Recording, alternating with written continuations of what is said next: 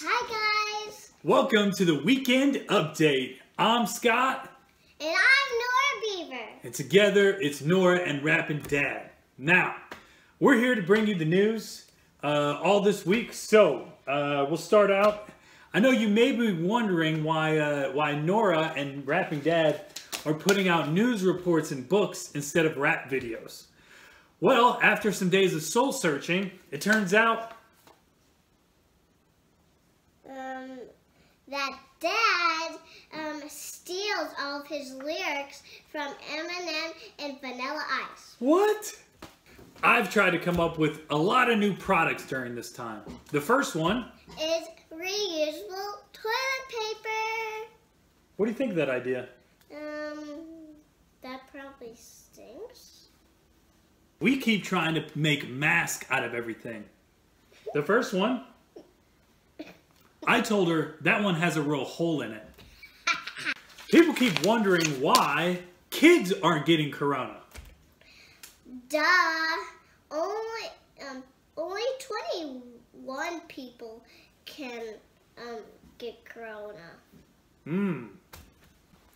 This just in, Tom Hanks has COVID-19. Who's Tom Hanks?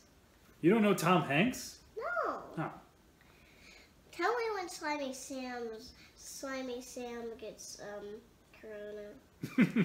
Teachers across the nation are rejoicing today as what seems like spring break might turn into summer break. Uh, this just in, uh, teachers just realized that their kids are going to have the same break they are. Hmm. What's wrong?